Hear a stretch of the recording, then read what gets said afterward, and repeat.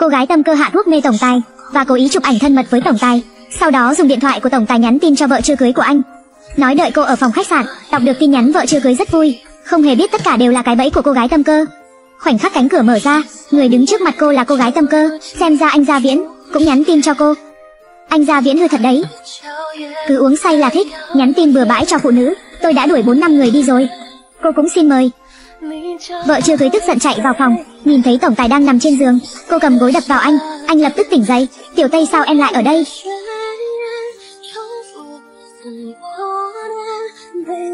Cô ấy muốn nhìn thì để cô ấy nhìn đi, chúng ta không cần giấu cô ấy. Tiểu Tây, không phải như em thấy đâu, nghe anh giải thích. Tiểu Tây, anh ra viễn, người ta cho anh rồi. Anh đi em biết phải làm sao? Cô gái tâm cơ đạt được mục đích của mình, còn vợ chưa cưới thì cầm giấy xét nghiệm, cô đã mang thai con của tổng tài, lúc cô đi đi lại lại không biết phải làm thế nào, thì bị người ta bắt đi, hóa ra cô gái tâm cơ đã biết tin vợ chưa cưới của tổng tài mang thai, thế nên cô ta muốn phá bỏ đứa bé trong bụng cô. Không ngờ người phụ nữ này lại có con của Gia Viễn. Sao hả? Biết mình không gả được vào nhà họ Lý, nên muốn dùng đứa bé trói buộc Gia Viễn à? Tôi nói cho cô biết, nằm mơ đi, phá cho tôi. Tôi xin cô, xin cô buông tha cho tôi. Cô thật sự không sợ Gia Viễn biết sao?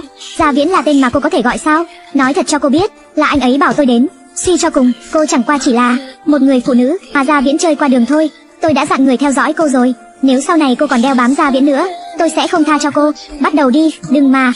Thả tôi ra, thả tôi ra. Có tác dụng không? Yên tâm, là một loại thuốc mới, vẫn đang thử nghiệm, tiêm một mũi là sẽ xảy thai, vậy thì thêm một mũi nữa. Tốt nhất là khiến cô ta đừng bao giờ tỉnh lại nữa. Vợ chưa cưới bị ném đến nơi hoang dã, hai người đàn ông chuẩn bị thiêu hủy cô. May mắn trong thời khắc quan trọng, cô tự bò ra khỏi lửa lớn, và phía bên kia tổng tài chạy đi tìm vợ chưa cưới giải thích. Nhưng người xuất hiện trong phòng là cô gái tâm cơ. Sao cô lại ở đây? Chị Giang đi bảo em đến xem. Anh nhìn kìa, 100 vạn trong kết sắt, bị Trần Tiểu Tây lấy trộm rồi. Lúc đó em đã nói với anh rồi, cô ta vì tiền nên mới tiếp cận anh, anh không nghe. Không thể nào, cô ấy không phải người như vậy. Chỗ em có chứng cứ. Ở bên ngoài, Trần Tiểu Tây luôn có một người đàn ông. Anh ta tên Khưu Phi. Mẹ của anh ta bị bệnh nặng, cần tiền viện phí đắt đỏ. Sao em nhớ, cô ta bắt đầu tiếp cận anh, vào lúc đó nhỉ, anh ra Viễn. Vẫn chưa đủ chứng minh sao? Những lời xúi dục của cô gái tâm cơ, khiến tổng tài hiểu lầm vợ chưa cưới. 6 năm sau, vợ chưa cưới đưa con từ nước ngoài trở về. Và lúc này tổng tài vừa họp xong tình cờ đi ngang qua nơi này. Thổ lộ với anh nhiều lần, anh có dự định trả lời trực diện không? Bố ơi, con nhà ai mà vô giáo dục như này? Xin lỗi, xin lỗi nhé. Là anh. Quả nhiên là bố của mình. Cô có biết gọi bừa người khác là bố ở nơi công cộng gây nên ảnh hưởng lớn thế nào? Thật sự rất xin lỗi. Sau này tôi nhất định sẽ trông chừng kỹ thằng bé, không cho thằng bé chạy lung tung. Xin câu xin lỗi là có tác dụng à? Cô này, cô có biết đồng hồ của tôi đắt thế nào không? Chuẩn bị xong tiền thì gọi điện cho tôi, nếu không luật sư của tôi sẽ kiện cô. Anh, trông kỹ con của cô. Không trông được thì đừng sinh. Xếp Lý, xếp Lý. Xếp Lý, Trần Tiểu Tây cô còn dám quay về và đem theo cả con. Xếp Lý, xin anh hãy trả lời chuyện của đứa bé. Xếp Lý. Trần Tiểu Tây vẫn chưa chết mà còn sinh đứa bé ra, không thể nào. Sao có thể thế được? Tuyệt đối không được để Gia Viễn biết chuyện đã xảy ra, Trần Tiểu Tây. Nếu cô tự chọn quay về thì đừng trách tôi giết chết cô một lần nữa. Nặc nặc, sau này không được chạy lung tung, cũng không được tùy tiện gọi người khác là bố, nhưng người thật sự là bố mà, nếu không tại sao lại giống hệt với bức ảnh trong điện thoại của mẹ. Mẹ nói không phải là không phải, nghe chưa? Vâng, nhưng rõ ràng hai người quen biết mà. Cô Trần, đến cô rồi. Nặc nặc con ở đây đừng chạy lung tung, đợi mẹ quay lại nhé. Chào Tổng Giám Đốc, tôi đến báo cáo công tác, mời ngồi. Sao lại là anh, người thu mua studio của chúng tôi? Không phải là công ty thiết kế Nghi Hưng sao? Thiết kế Nghi Hưng là công ty con của quốc tế Gia Viễn. Nhiều năm trước cô Trần nghĩ trăm phương nghìn kế, bây giờ trở về lại muốn nghĩ cách tiếp cận tôi. Sao hả? Muốn thả thính tôi sau đó lấy tiền biến mất tiếp à? Tôi không bán studio nữa, xếp lý tìm người khác đi. Đứng lại, quốc tế Gia Viễn là nơi cô muốn đến thì đến, muốn đi thì đi sao? Anh có ý gì? Năm xưa là anh ngoại tình trước, còn muốn phá con của tôi, tôi không đòi anh bồi thường, đã là tốt lắm rồi. Khi xưa cô không từ mà biệt, không hề cho tôi cơ hội giải thích, cô coi tôi là người gì hả? Lý Gia Viễn. Không nhất định phải là anh, cô Trần, cô suy nghĩ kỹ chưa? Tôi đã ký hợp đồng rồi, Bây giờ thay đổi, cô có đền nổi tiền vi phạm hợp đồng không? Hơn nữa, tiền sửa đồng hồ của tôi là 100 vạn, mời cô chuyển tiền cho tôi ngay bây giờ. Anh ăn cướp à? Tôi không đồng ý, không đồng ý. Ban đầu cô bỏ đi. Có thông qua sự đồng ý của tôi không? Đơn phương hủy hợp đồng, đã được tôi đồng ý chưa? Sếp Lý, xin anh hãy tự trọng. Mẹ ơi, mau tới cứu con. Đứa nhóc hoang ở đâu ra thế? Dám làm bẩn áo của tao? Thiếu đòn à, tao đánh chết mày, Tân Hiểu Nguyệt. Cô dám động vào con tôi thử xem, tôi nhất định sẽ chặt tay cô. Quả nhiên là người phụ nữ rác rưởi nhà cô. Ở nước ngoài nhiều năm như vậy, còn có mặt mũi đưa con hoang của cô về nước sao? Im miệng cho tôi, nếu cô còn dám xúc phạm con của tôi, tôi không ngại khiến cô mất hết mặt mũi. Anh Gia Viễn mau đến giúp em. Đủ rồi, Trần Tiểu Tây, ai cho cô lá gan, động vào người của tôi, người của anh, người không động tôi, tôi không động người. Nếu người động tôi, tôi sẽ chấp lại gấp trăm lần. Anh Gia Viễn, anh mau xử lý cô ta đi, và cả đứa con hoang của cô ta nữa, làm bẩn hết áo của em rồi, mấy trăm vạn cơ đấy, cô ta còn dám bắt nạt em, lẽ nào khi đó cô ấy lấy tiền của mình là để nuôi đứa bé này sao? Rốt cuộc đứa bé này là của ai? Bố, con đương nhiên là con của bố rồi. Thằng nhóc này, dám nhận bừa bố ở đây à? Tao đánh chết mày. Tân Hiểu Nguyệt, cô dám động vào con tôi lần nữa xem. Còn nữa, nếu lời tôi nói, cô không nhớ được, thì tôi không ngại, làm cho cô nhớ lâu đâu. Anh Gia Viễn cô ta ngông cuồng quá. Anh mau xử lý cô ta đi, Lý Gia Viễn, sau này chọn phụ nữ. Mở to mắt ra mà nhìn cho rõ. Tiểu nặc, chúng ta đi, khoan đã. Trần Tiểu Tây, cô không thấy mình nợ một lời xin lỗi sao? Anh đừng quá đáng, chẳng lẽ cô không nên xin lỗi tôi sao? Nếu tôi không xin lỗi thì sao? Hai người đừng cãi nhau nữa. Lúc nãy còn khát nước đi lấy nước uống, thì bà phù thủy này đi tới và tự đổ nước lên người mình. Còn trách con, đều là lỗi của cô ấy. Thằng danh con này, giống hệt mẹ của mày. Miệng toàn lời nói dối. Người đâu, đuổi bọn họ đi. Bảo vệ. Tôi sẽ trả tiền vi phạm hợp đồng cho anh. Lại công ty như này không xứng hợp tác với tôi 50 triệu tiền vi phạm hợp đồng Cô Trần dự định khi nào trả cho tôi Chuyện này anh không cần lo Thỏa thuận quy định 3 tháng Với kinh tế hiện tại của cô Sợ rằng 10 năm cũng không trả nổi Đến lúc đó cô ngồi tù Thằng nhóc này chỉ có thể đưa đến cô nhi viện Anh vô liêm sỉ Ký bản hợp đồng này Tiền tài trợ sẽ chuyển đến thẻ của cô ngay lập tức Còn về việc chia như thế nào tôi không quan tâm Ngày mai chính thức đi làm nếu tôi không ký thì sao? Nếu cô không ký, thì thanh toán tiền vi phạm ngay lập tức. Nhiều tiền như vậy, ngồi tù ít nhất hơn 10 năm đấy. Đi thôi. Trần Tiểu Tây, nếu đây không phải là con của tôi, thì cô chết chắc. Anh Gia Viễn, anh còn cho cô ta tiền làm gì? Cô ta không xứng. Có cần đi kiểm tra camera, xem rốt cuộc đã xảy ra chuyện gì không? Cô không thấy mình nợ cô ấy. Anh Gia Viễn, người ta cho anh cả rồi. Sao anh lại vì người phụ nữ này mà nổi giận với em? 6 năm trước xảy ra chuyện gì, có cần tôi đích thân nói cho cô biết không? Nhưng chị Giang nghi nói, muốn chúng ta kết hôn. Chị tôi là chị tôi, tôi là tôi, tôi rất bận, làm phiền cô sau này, đừng có tùy ý đến công ty của tôi.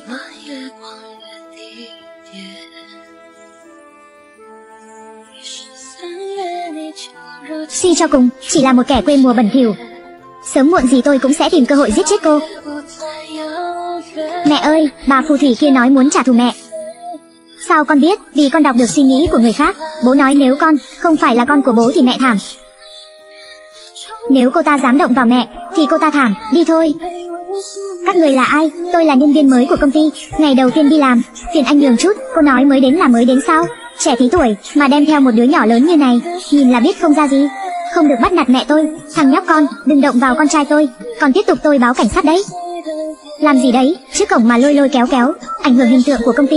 Chào cao phó tổng, người phụ nữ này đem con đến gây chuyện và nói dối là nhân viên mới. Cô là ai mà dám đến gia viễn kiếm chuyện? Tôi là nhân viên mới Trần Tiểu Tây, hôm qua vừa nhậm chức. Thẻ nhân viên đâu, chưa kịp làm. Trông cũng xinh đấy, phải chơi mới được. Đến phòng làm việc của tôi, tôi đích thân làm cho cô. Ngơ ra đó làm gì, còn không tránh ra. Chú ta muốn hại mẹ mình phải ngăn cản. Mẹ không được đi theo chú ta, chú ta muốn hại mẹ. Con yêu anh ta không hại được mẹ đâu. Không sao, đi thôi. Làm tốt lắm, cầm lấy đi, cảm ơn sếp tân. Alo, chị Gia Nghi. Người phụ nữ đeo bám, anh Gia Viễn khi đó, lại trở về rồi. Lúc nãy em còn nhìn thấy, cô ta theo cao phó tổng, vào phòng làm việc, chị nhanh đến xem đi. Cô trông đứa bé này, tôi đi làm thẻ cho nhân viên mới. Vâng thưa cao phó tổng, mẹ con không đi, con muốn đi cùng mẹ. Nạp nạp ngoan, mẹ đi một lát thôi, con đi chơi với chị trước đi.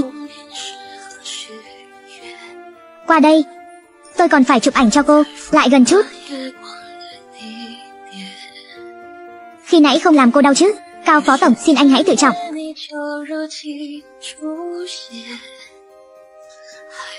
Anh làm gì một người phụ nữ như cô đi làm ngày đầu Mà còn đem theo con Nhất định là bỏ rơi cô rồi chứ gì. Người phụ nữ không có quan hệ gia cảnh như cô. Ở công ty rất khó trèo lên cao được Nhưng tôi có thể giúp cô. Không phiền cao phó tổng bận lòng Tôi xin phép. Tôi đang nghĩ cho cô đấy Chỉ cần cô hầu hạ tôi tốt Tôi sẽ cho cô từng bước tiến lên cao. Anh buông tôi ra. Mẹ ơi, mẹ ơi. Sao thế? Bố mau đi cứu mẹ đi Có người muốn hại mẹ.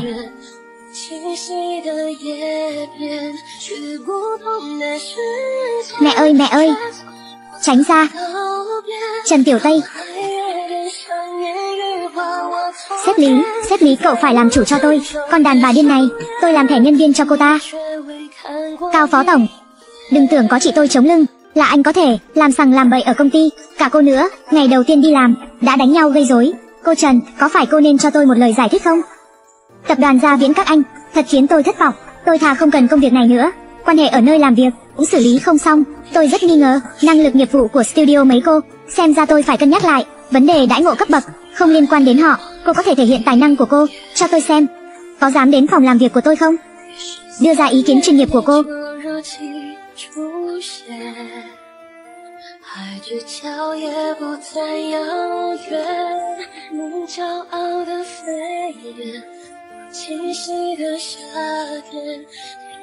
Xếp lý, bây giờ chúng ta là đồng nghiệp. Anh như vậy Có được xem là quấy rối tôi không? Rõ ràng là cô Trần Quấy rối tôi trước mà. Có điều tôi không để tâm. Anh. Được, sau này chúng ta hãy sạch ròi Không làm phiền nhau. Được chứ, được. Tổng quan không có vấn đề gì. Chỉ khuyên đổi cây đa Lý do hệ rễ của nó lớn. Ảnh hưởng rõ rệt đến công trình kiến trúc. Đồng thời, xem ra bao năm qua Cô không chỉ lo chăm con. Sếp Lý có thành kiến Với phụ nữ nuôi con à. Không hề, tôi chỉ có ý kiến với cô. Một người làm mẹ mà để con trai phải ngâm nớp lo sợ. Cho nên tôi đến đây là để Cố gắng có cuộc sống tốt hơn. Làm phiền xếp Lý, đừng quấy giày Năng lực chuyên nghiệp khá tốt Dự án mới của công ty Thiếu một tổng giám đốc thiết kế. Chị thấy không thể, vị trí tổng giám đốc thiết kế, do chị quyết định, cô ta không được, sao chị lại đến đây? Nếu chị không đến, có phải cô ta đã đánh chết Cao Phó Tổng rồi không? Chị bảo Cao Phó Tổng đến, là để giúp em, còn em thì sao? Dung túng cấp dưới hành hung, không quản nghiêm, em không quản được thì để chị. Là cô đánh Cao Phó Tổng phải không? Là tôi, xin lỗi.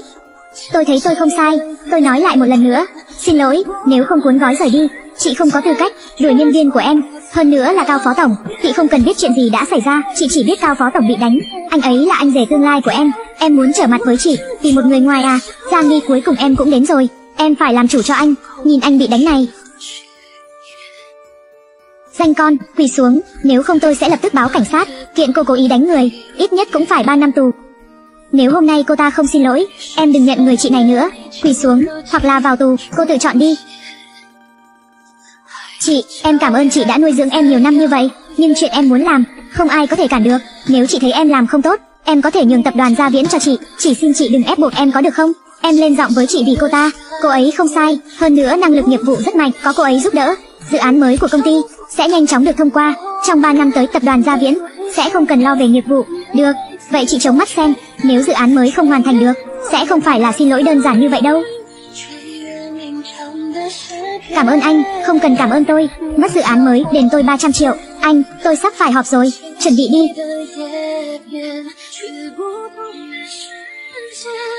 Đây là hợp đồng đã ký với bên A. Nhận lấy, vâng.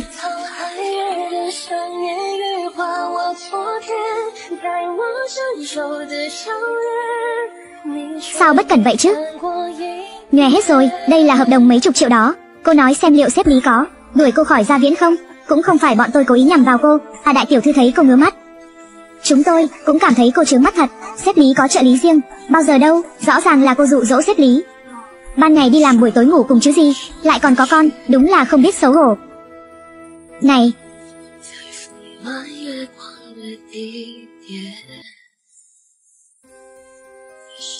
Cô ta còn xà vào lòng cao phó tổng nữa cơ, Cũng không biết nhìn xem bản thân như thế nào. Cô Xếp lý, Trần Tiểu Tây không cẩn thận, làm nghề hợp đồng, gây nên tổn thất lớn như vậy, cho công ty chúng ta, đuổi cô ta vẫn còn hời cho cô ta. Đi gặp pháp vụ trao đổi đi. Vẫn là xếp lý cao minh, Trần Tiểu Tây. Cô đợi mà tán ra bại sản đi, cố ý làm hỏng hợp đồng của công ty, đến gặp pháp vụ trao đổi bồi thường. Xếp lý, còn nói thêm một câu nữa thì cút khỏi gia viễn. Ngơ ra đó làm gì, bị bắt nạt không biết lên tiếng à.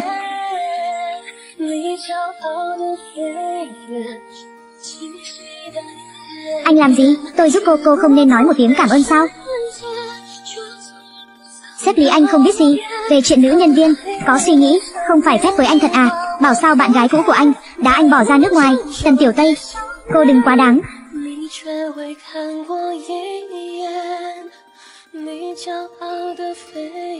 Alo, nạc nạc đúng thực là con trai ruột của anh. Tôi đã gửi kết quả xét nghiệm DNA vào email của anh.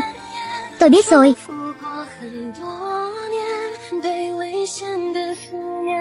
Con yêu, giáo viên trường mầm non, chuẩn bị kiểm tra hồ sơ nhập học của chúng ta. Hôm nay con ngoan ngoãn, ở công ty của mẹ một ngày, được chứ? Có gặp được bố không ạ? Trần Tiểu Tây cô đừng quá đáng.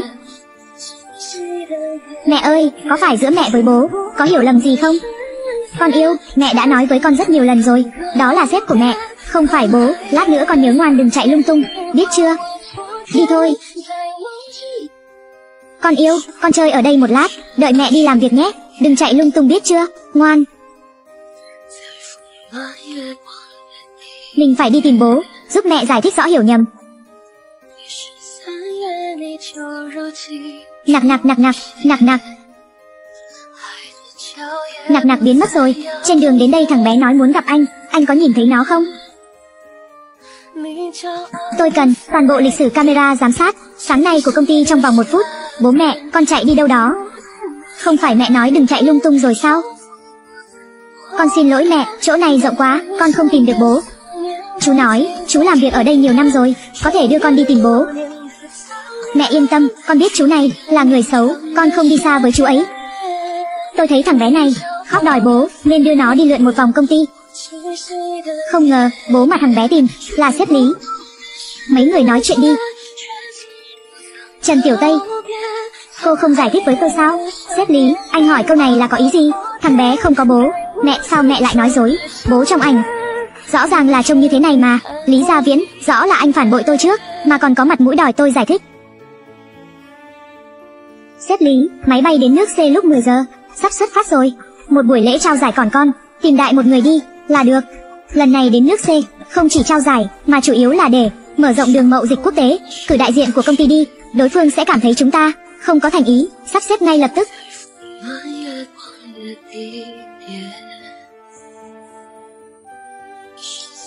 Nói đi tìm tôi có chuyện gì, không biết xếp tân có hứng thú với việc lật đổ thiết kế gia viễn nữa không? Dựa vào anh ư, tôi không có hứng với, thứ ăn cây táo rào cây sung. Nghe nói năm đó, sếp tân nghĩ trăm phương nghìn kế, để làm sếp lý, chia tay với bạn gái của cậu ta. Lẽ nào cô không muốn biết, người phụ nữ đó hiện giờ như thế nào sao? Sao anh biết? Xét tân, bây giờ người phụ nữ đó là thư ký riêng của sếp lý. Vốn nghĩ rằng lại bỏ Trần Tiểu Tây, là Gia Viễn có thể đón nhận tôi. Nhưng không ngờ đã 5 năm trôi qua, Gia Viễn vẫn không để ý đến tôi mà bên cạnh cũng không có người phụ nữ khác. Trần Tiểu Tây không sánh bằng Sếp Tân, cô ta là đồ quê mùa, chưa từng nhìn thấy sự đời, chỉ biết dựa vào tài quyến rũ người khác. Có điều, tôi nghe nói, người phụ nữ đó có một đứa con. Đứa con đó, còn gọi Sếp Lý là bố. Trần Tiểu Tây, tùy tiện kiếm một đứa con hoang, cũng dám gọi Gia Viễn là bố. Con đàn bà, xấu xa. Cô ta chẳng qua chỉ là, suốt ngày đem theo đứa con. Còn xếp Lý thì dễ tin người, nhưng tôi tin, nếu như xếp Tân xuất trận, xếp Lý nhất định sẽ biết ai mới là người thật sự yêu cậu ta. Chỉ mong vậy.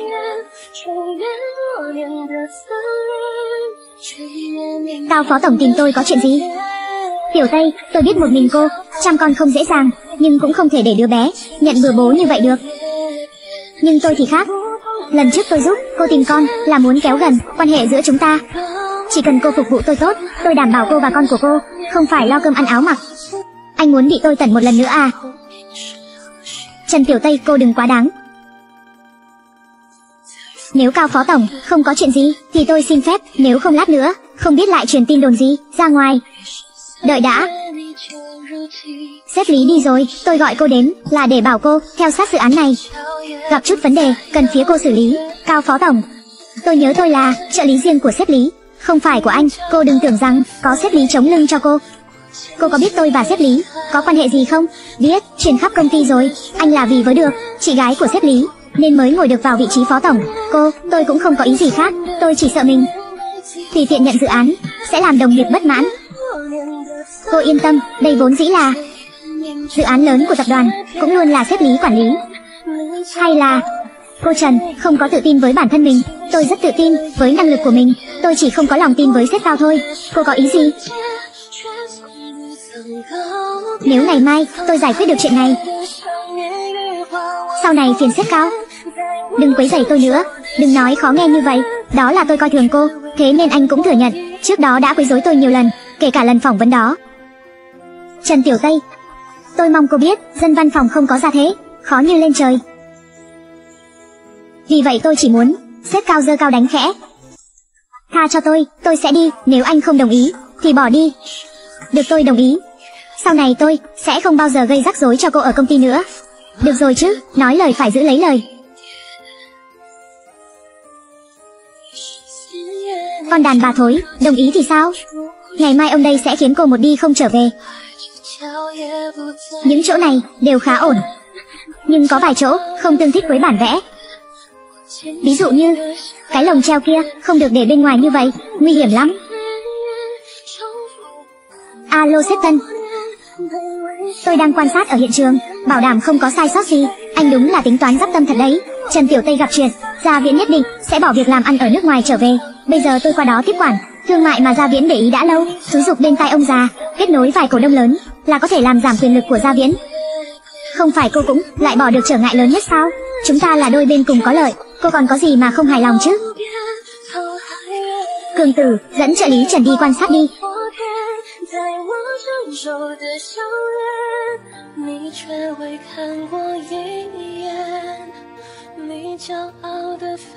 Xếp Trần tôi có việc tôi đi trước đây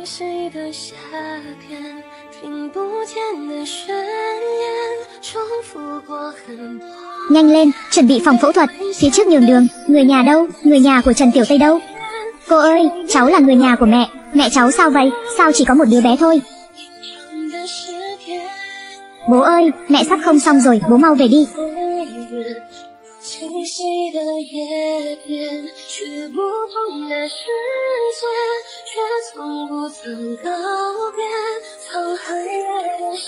Đừng động đây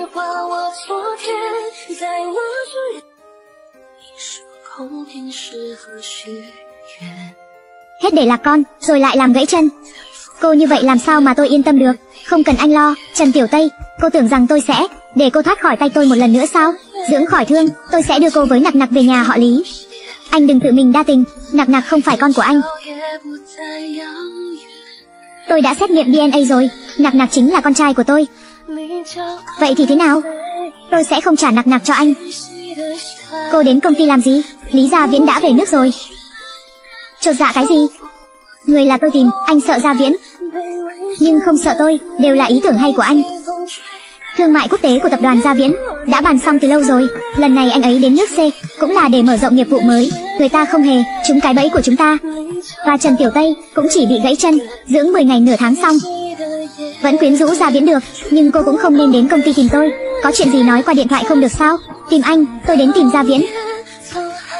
Nhất định phải, nhân lúc Trần Tiểu Tây đang bị que, giành được trái tim của Gia Viễn.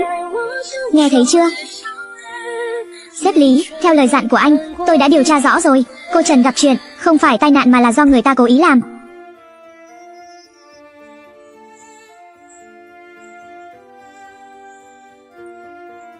Xin lỗi sếp Lý, tôi không cản được, anh ra ngoài trước đi. Cô đến đây làm gì? Em đến.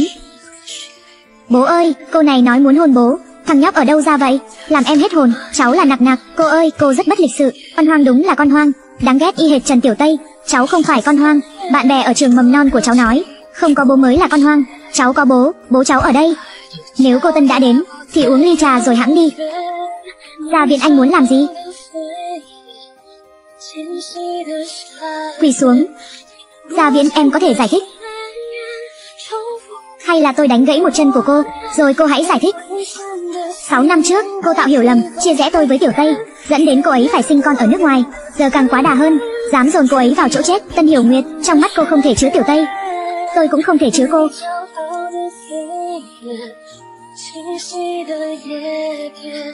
Anh định làm gì? Không phải cô thích nước ngoài sao? Thế thì hãy ra nước ngoài ở cùng với mẹ tôi, đừng bao giờ quay trở về nữa. Đưa đi, ngoan ngoãn chút. Đứng dậy. Đi cho tôi.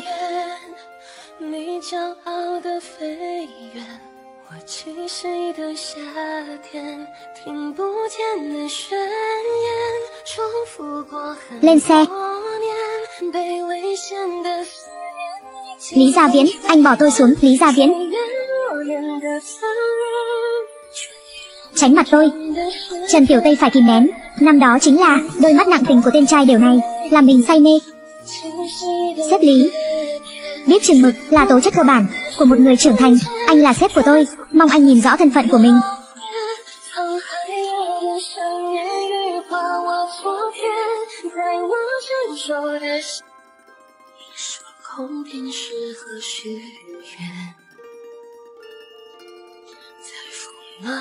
Cô yên tâm, chưa được cô đồng ý, tôi sẽ không chạm vào cô. Còn nữa, chân của cô đi lại không tiện, thời gian này để tôi đưa đón nặc nặc đi học.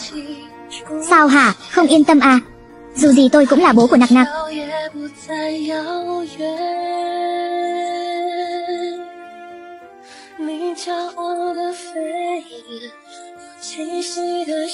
Xếp lý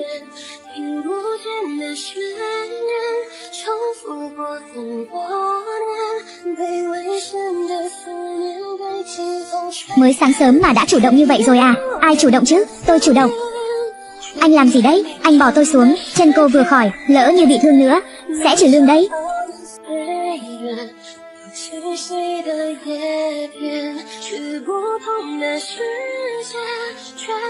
Tiểu Nhã đâu, tôi không biết, lát nữa cô nói với cô ấy.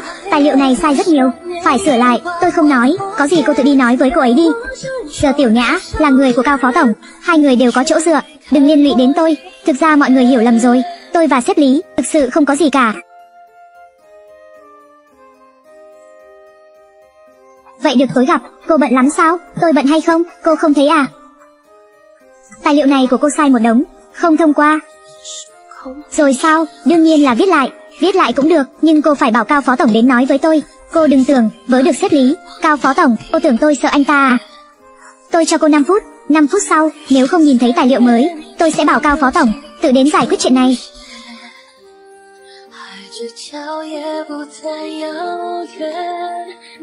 Cô định không viết lại thật à? Bây giờ cả công ty đều biết, lúc vừa đến phỏng vấn, Trần Tiểu Tây đã đánh Cao Phó Tổng.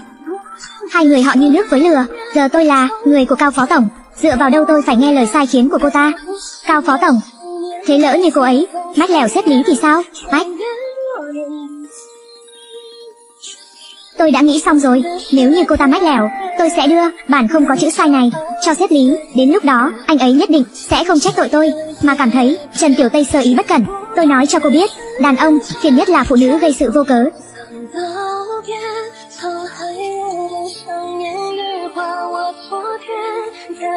Làm gì, Cao Phó Tổng? Học sinh tiểu học viết văn cũng biết, không thể sai chính tả, người của anh để sai chính tả rất nhiều. Tôi yêu cầu cô ấy viết lại, không quá đáng chứ. Tôi còn tưởng chuyện gì? Thì ra cô Trần không sợ trời, không sợ đất. Cũng có lúc không giải quyết được chuyện. Tôi cũng rất muốn giúp cô. Nhưng tôi chỉ là phó tổng. Thật sự không thể làm được gì. Hay là cô đến mách với sếp lý, Bảo cậu ấy chống lưng cho cô. Nói không chừng sếp lý không vui, Sẽ sa thải người này ngay. Đến lúc đó cô Trần sẽ trở thành mục tiêu công kích. Vì chèn ép đồng nghiệp. Chỉ sợ mục tiêu công kích này Sẽ thuộc về cao phó tổng anh nếu ngày mai tôi giải quyết được chuyện này Thì phiền cao phó tổng Sau này đừng quấy rối tôi nữa. Được chứ, đừng nói khó nghe như vậy. Đó là tôi coi trọng cô Thế nên anh cũng thừa nhận. Trước đó đã quấy rối tôi nhiều lần Kể cả lần phỏng vấn đó đúng chứ? Nghe nói gần đây cao phó tổng Đang theo đuổi tiểu thư lý. Không biết, nghe thấy đoạn ghi âm này Tiểu thư lý có còn tin tưởng anh Trọng dụng anh như trước kia không nhỉ? Chỉ sợ không có sự ủng hộ của đại tiểu thư Vị trí phó tổng này của anh Có giữ được hay không? Cũng khó nói lắm. Người đàn bà nham hiểm nhà cô Dám dùng thủ đoạn dơ bẩn này Tính kế tôi Đối phó với người dơ bẩn phải dùng thủ đoạn dơ bẩn. Cao Phó Tổng, tài liệu này phiền anh giải quyết. 10 phút sau, kết lý học cần đến, phiền anh đưa thẳng đến phòng họp.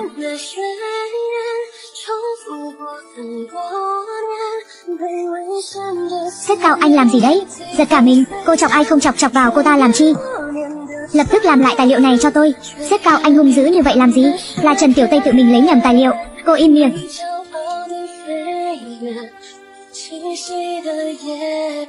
Là cô ta, cố ý lấy sai tài liệu.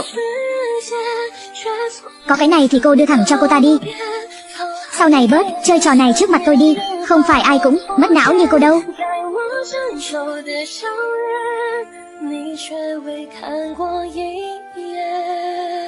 Lần trước là xếp lý chống lưng cho cô ấy. Lần này, ngay cả cao phó tổng cũng phải nghe cô ấy. Rốt cuộc Trần Tiểu Tây này có lai lịch gì?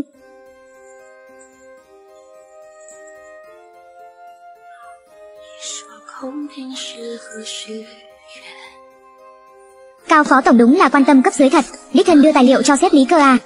Trợ lý Trần khách sáo rồi. Khá đấy, mới đến mấy ngày mà đã khiến cái gai lớn nhất trong tay tôi, nghe lời răm rắp rồi. sếp lý quá khen. Phải rồi, hôm nay anh không cần đón nặc nặc. Tại sao, hôm nay trường tan học sớm, tôi đã nhờ bạn đón thằng bé rồi.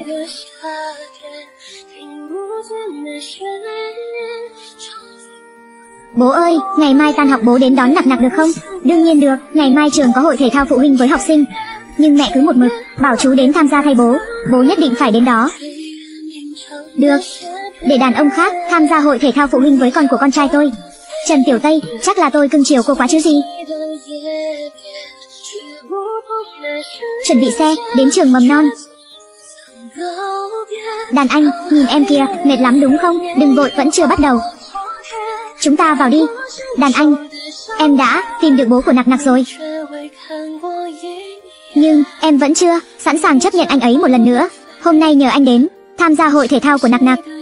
Thực sự là bất đắc dĩ. Em không muốn bạn học của nặc nặc, chê cười thằng bé không có bố. Tiểu Tây em biết đấy. Dù lúc nào em cần anh, anh đều có mặt. Chào anh Khưu. Không biết có ai đã dạy anh đúng đắn công bằng chính trực danh dự và không được làm người thứ ba chưa? Lý Gia Viễn, anh lại dở trò, buông tôi ra. Ngoan chút. Bỏ cô ấy ra, anh quên là năm đó, anh đã đối xử với cô ấy thế nào rồi sao? Tôi không bao giờ cho phép. Vậy sao, anh thư là người đàn ông đầu tiên tự tin trước mặt tôi như vậy đấy. Đàn anh, hay là anh đi trước đi, nhưng em, em không sao. Sao hả, anh thư cũng muốn tham gia hoạt động của người thân như thế này sao? Không biết xấu hổ hả? Vợ, làm đúng thì về nhà, đừng thể hiện trước mặt người ngoài.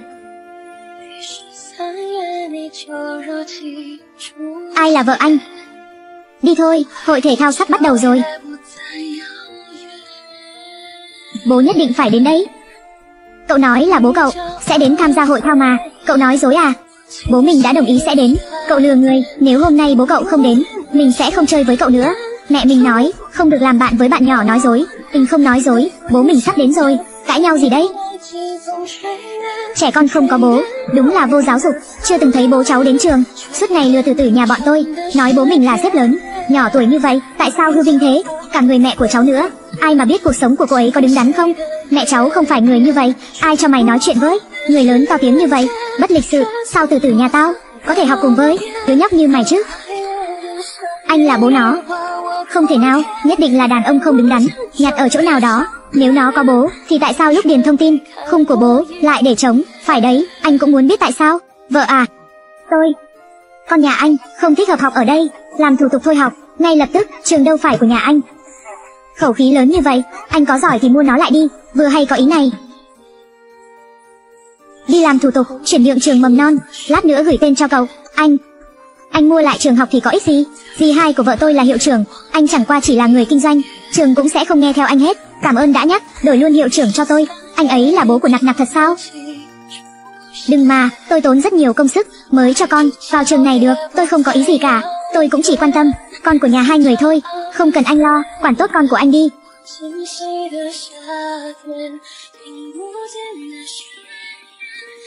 Sao hả, đứng đầu mà vẫn không vui, tại sao bắt người khác thôi học? Anh chỉ dạy con của anh, gặp phải chuyện bất công, nên phản kích như thế nào? Anh làm như vậy sẽ chiều hư nó, em đang dung túng cho người khác tổn thương thằng bé. Mẹ giận rồi, bố mau đi dỗ mẹ đi.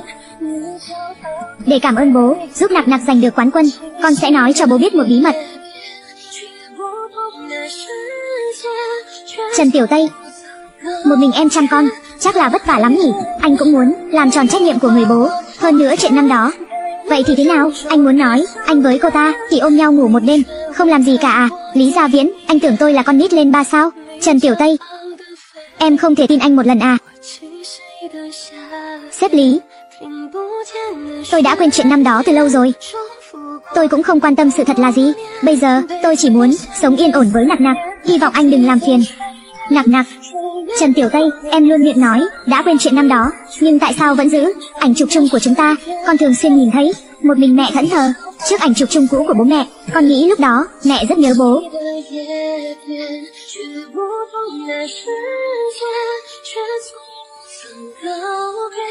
Sếp Lý đã giải quyết xong chuyện trường mầm non rồi. Tôi đã quên chuyện năm đó từ lâu rồi. Tôi cũng không quan tâm sự thật là gì.